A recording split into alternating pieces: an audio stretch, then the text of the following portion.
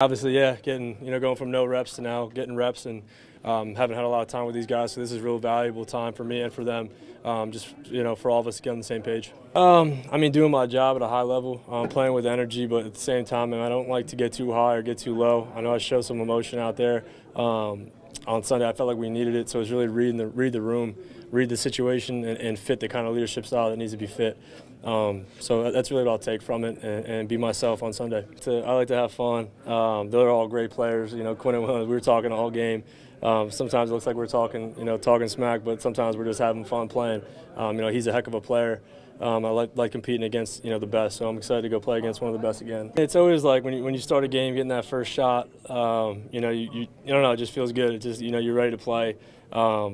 You know, I, I, would say on scout team it wasn't the most fun all the time, but I, am competitive and uh, I play. You know, I'm not the nicest guy, so I like to say some stuff. But it, it's all it's all good. I like to compete.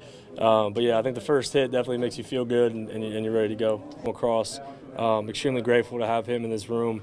Um, you know, I supported him a ton when he was in there, and you know he's done the same for me. Um, you know, and, that, that'll continue. And uh, we're definitely great friends on the field, off the field.